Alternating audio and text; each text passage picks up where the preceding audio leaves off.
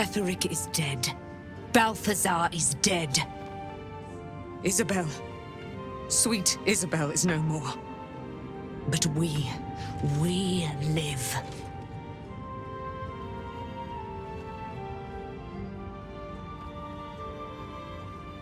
We live at the mercy of the gods. Even I, immortal, have no guarantee of days to come. We must remain vigilant and grateful. I will join your camp tonight. There we will discuss the spirals of time, past and future. And we will make merry in the present, wherein we reside. You certainly will.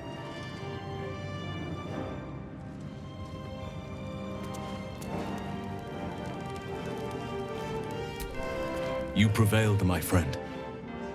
Now your path takes you to Baldur's Gate. But I cannot join you. Out there, the curse still thrives. I failed this place. Now I must remain behind and stand watch over it.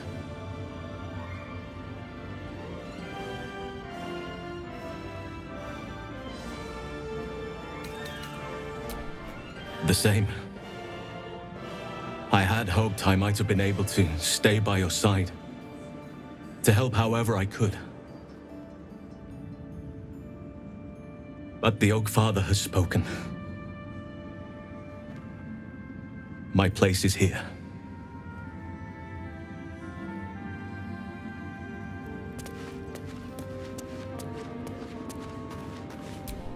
The shadows yet fester. The dead three united under cover of darkness. The balance shifts. There are depths to this alliance yet unplumbed. Consider, mortal. Do Illithids possess souls?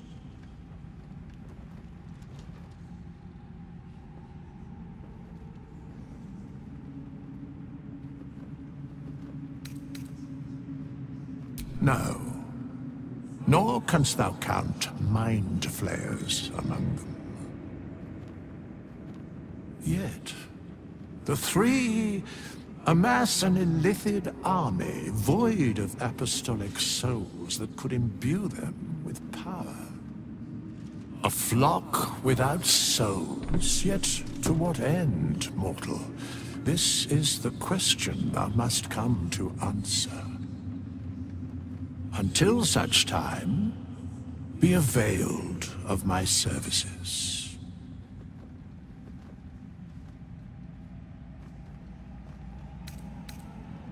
Yes, Bane, Lord of Darkness, Bhaal, Lord of Murder, Myrkul, Lord of Bones. Once judged, ascended, then vanquished, as one and as three. The Alliance is reforged, mortal. The planes thus quake, and the gods shudder.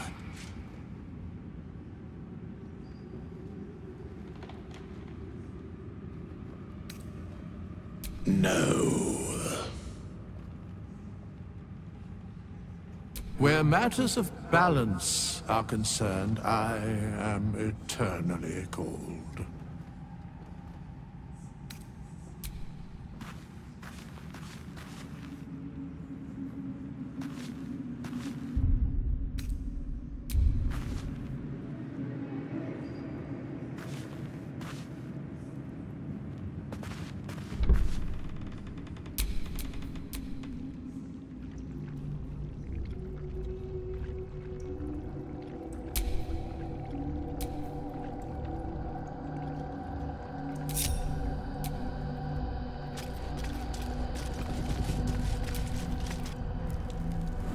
You saw Gortash, didn't you?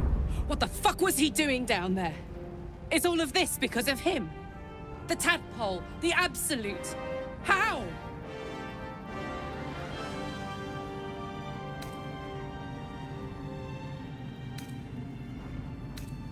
I'd never have protected a Bay Knight even a decade ago.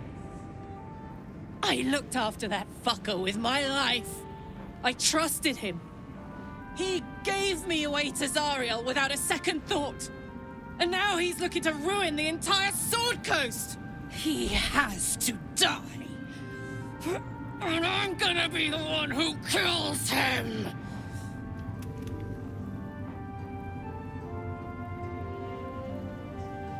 He can't get away with what he's done.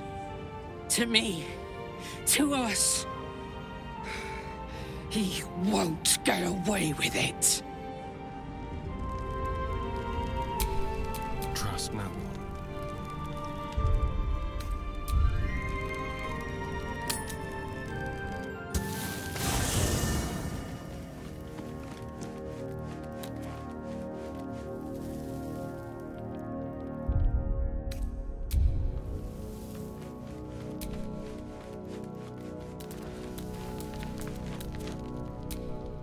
Greetings.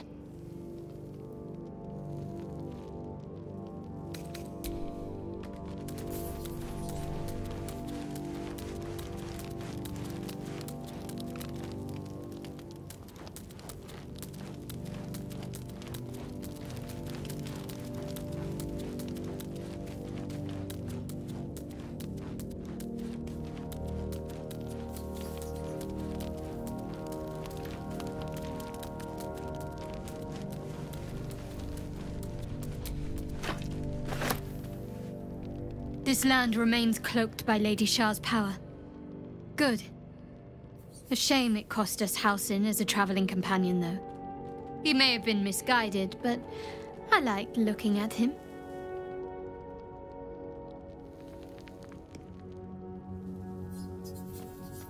Thank you. I think any attempts at comforting me might be in vain just now. But you're sweet to keep me in your thoughts. I'm sorry. It might be best kept until later. I'd be a poor counsel and... What do you know about me? You spoke of my past. Being chased by wolves. I told no one about that. Almost no one. But I certainly didn't share that with you. There is nothing I can tell you that you do not already know yourself. They trained you well, trained you hard. Chiseled away any part of you that did not fit their plan. They made you forget. I chose to do that. For the mission to protect Shaz... Secrets. Yes, yes, that is an old song, girl. Your goddess cares more for her precious secrets than she does her devotees. Get to the point. When you freed me, you severed a bond between me and that dog, Thorm. A bond of pain.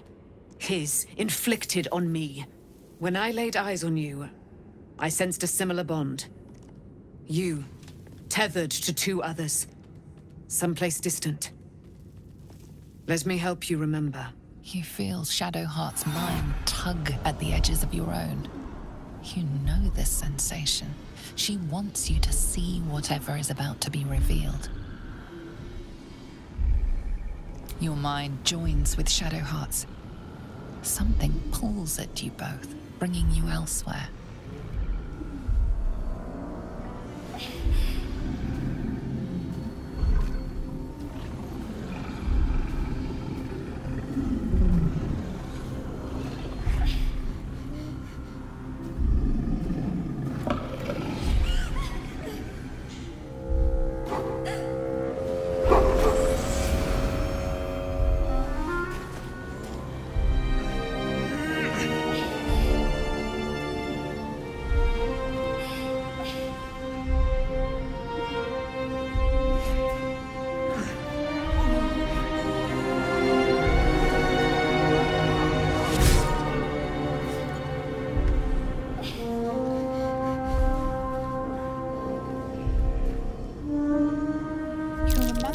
Is a common rite among Selûne's followers to send their children off into the woods to find their way home. Perhaps this time it had gone awry. It seems that one child never came back. She was taken. What? Who was that man? You already know.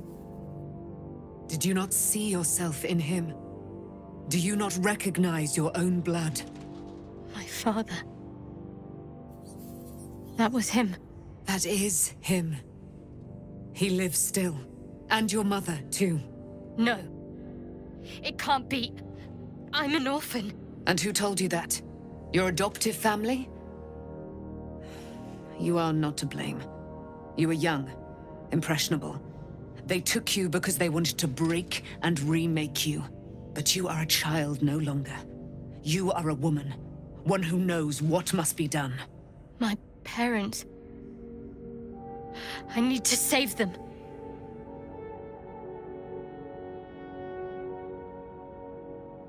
Your parents are with your abductors. You will need to return to their lair. But be warned. You may have once thought of them as comrades, mentors, friends, even lovers. They will all be enemies now. You have been forewarned for what is to come. But not yet forearmed.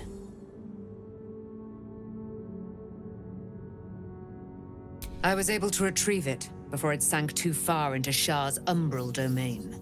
Shar is quick to discard whatever she has no use for. I think you know that well enough.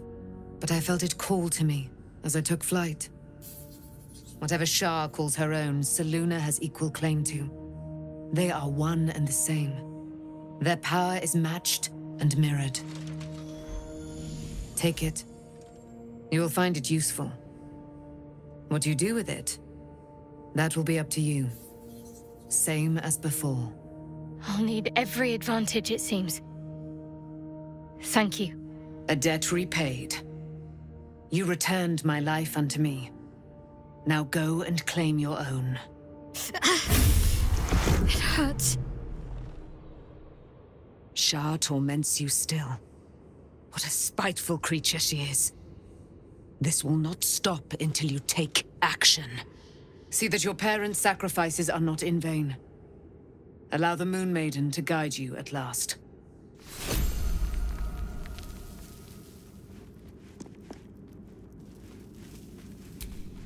There you are. I have awaited your arrival with great anticipation. Come closer.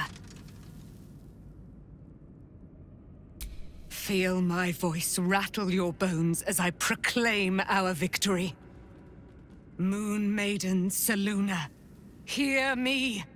Ketheric Thorm, traitor, apostle of Myrkul, is dead at last. Blessings upon the slayer of the Wicked One.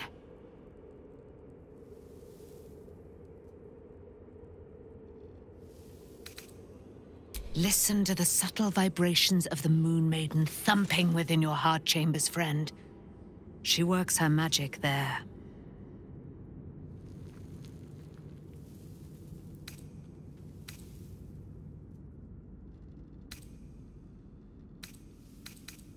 Our thoughts are as one, my friend.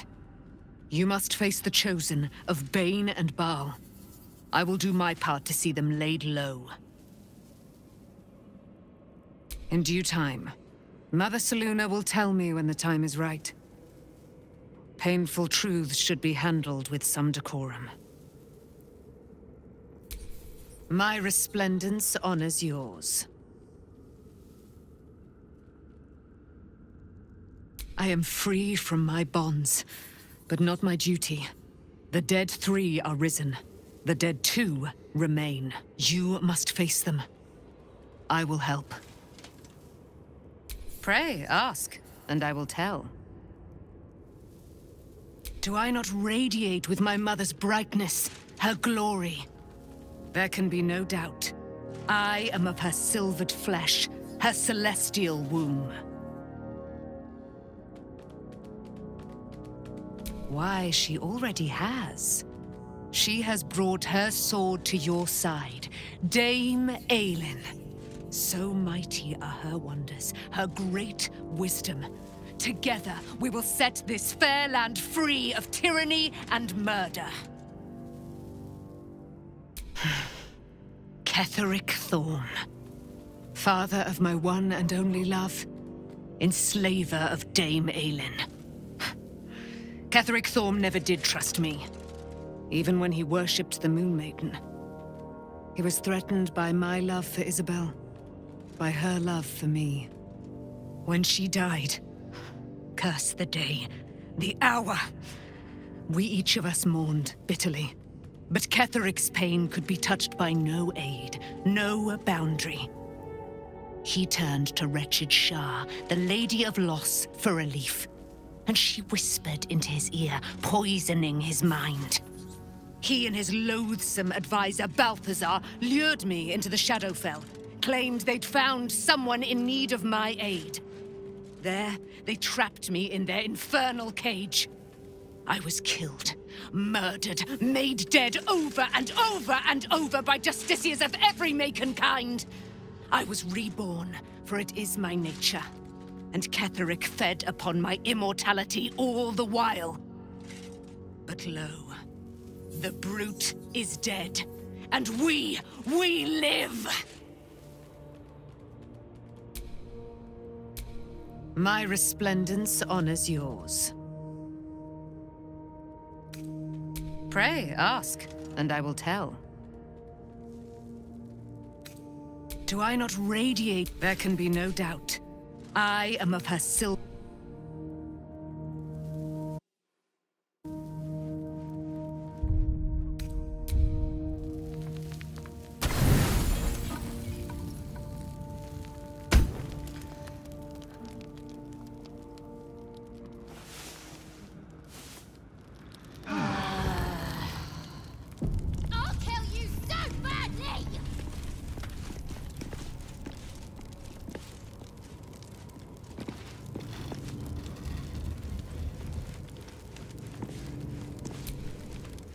Been lied to. My whole life. And I was gullible enough to just believe it. My parents are alive, and I have to save them. I think a part of me always knew that. A part that Shar denied to me.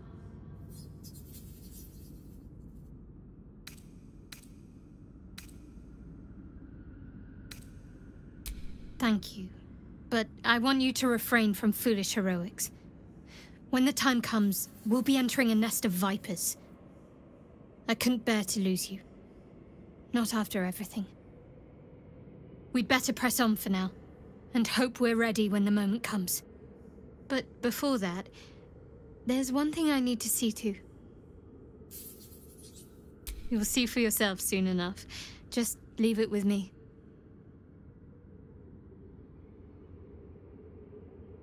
Of course.